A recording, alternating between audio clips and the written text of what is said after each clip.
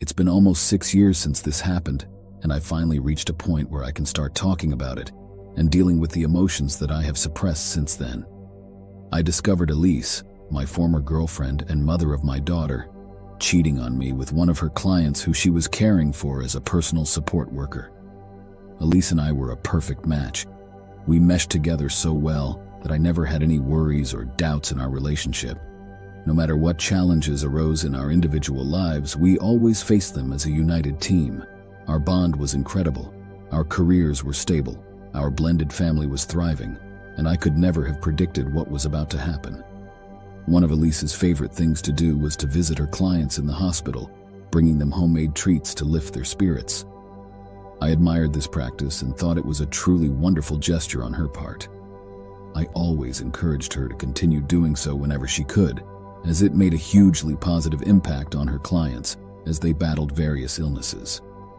Many of them were far from home and had no family or friends nearby, and Elise's compassion and genuine desire to bring a smile to their faces meant a lot to them. Her workplace referred to these visits as compassionate care visits and compensated her for an hour of time spent with patients. However, it was not uncommon for the visits to last two or three hours, yet she would only be paid for one hour.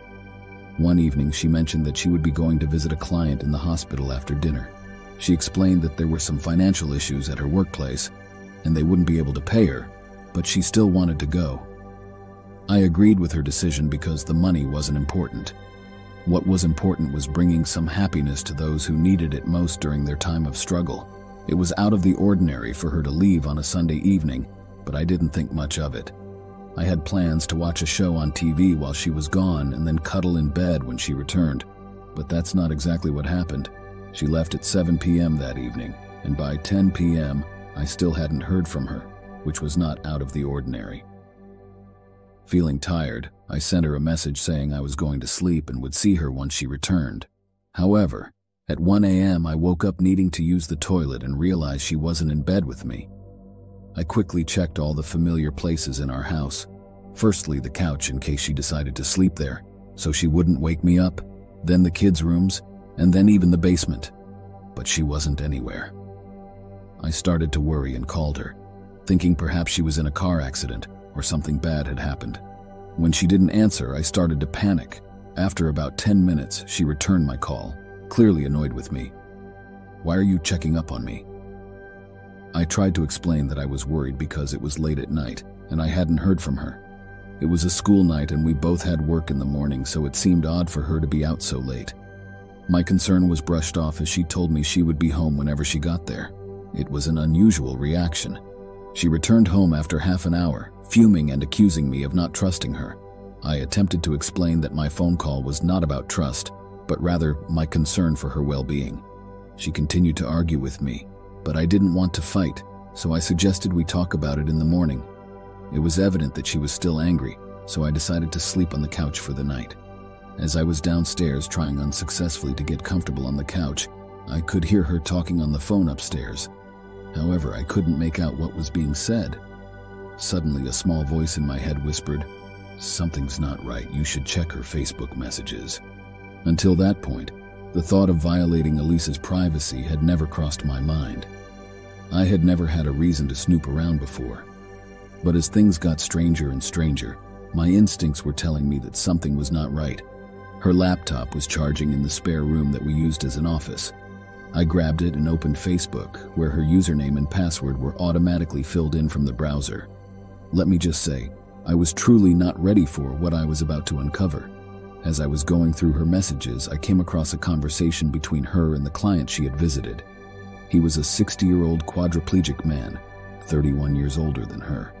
Their messages were filled with plans to leave me and be together, taking our children my son from a previous relationship, her son from a past relationship, and our daughter that we'd had together, with them.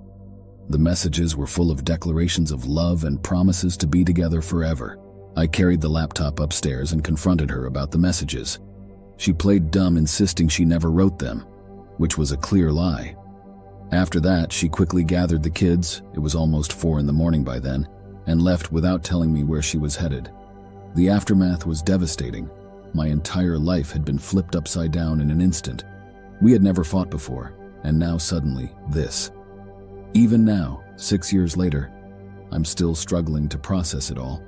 Elise filed for full custody of our daughter, submitting a 32 page document filled with false accusations.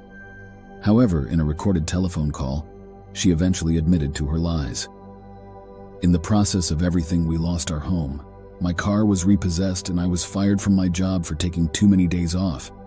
The overwhelming destruction I experienced to my life is impossible to adequately describe.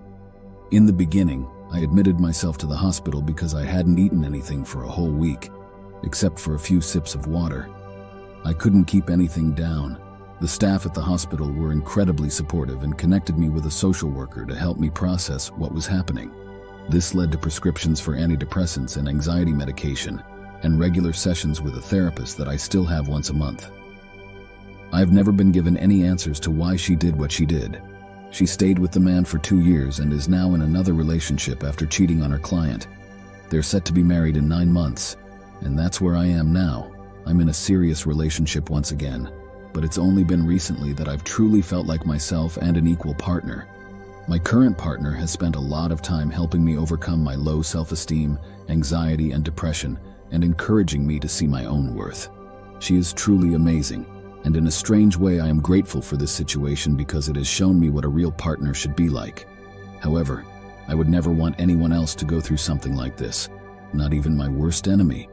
Well, except maybe Elise, but that's the only exception.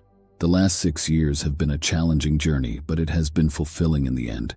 I have gained a deeper understanding of myself, a wonderful partner, amazing children, and a fulfilling career. However, there are still significant debts due to my previous relationship ending, with most of the financial responsibility falling on me. But it was a necessary lesson for me to learn. Thanks for taking the time to listen. That's the end of today's video. If you like this content, please do the things to the like and subscribe buttons, and I'll see you all again in the next video. Bye for now and take care.